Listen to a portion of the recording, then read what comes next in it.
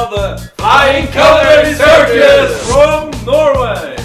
The Flying Culinary Circus is world-class chefs, a little bit of chaos. We like fine dining chefs who make the real thing. It's a lot of circus.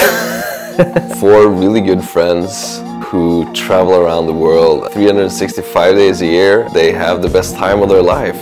It's very unreal what we actually do.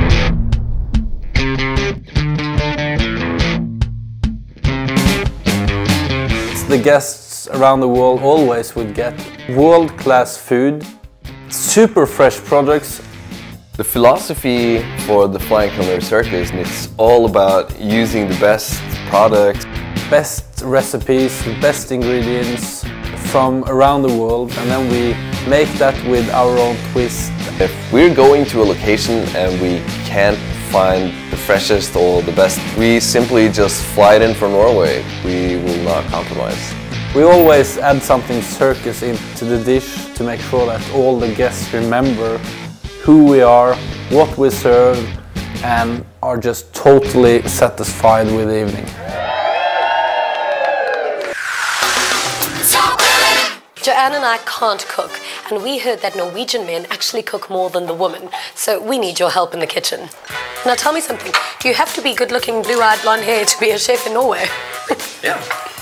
yes, as candidly as that. I don't know, no one's ever done what we do. We're like a, we're like a rock band.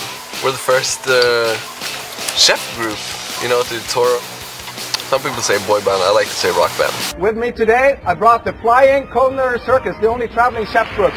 Today! I'm gonna make uh, uh, Norwegian waffles. Waffle, think we are on TV and in a really hurry, I just have to make things Yeah. and then in the circus way. Whoa! We've now been shooting with uh, Dr. Phil today.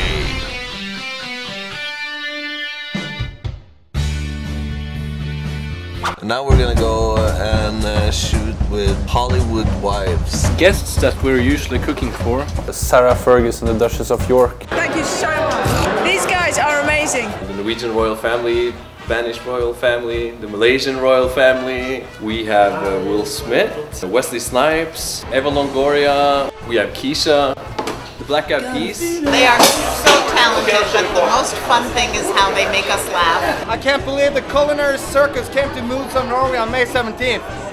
It's blowing my mind. I love these guys. Everything we've tasted tonight has been fantastic. They did a five-course meal, all cooked in a fireplace. We flew 6,000 miles just for the chicken. We definitely want to be recognized as the first international touring rock and roll chef group. Let's do what we do best. Let's rock and roll. Go hard or go home.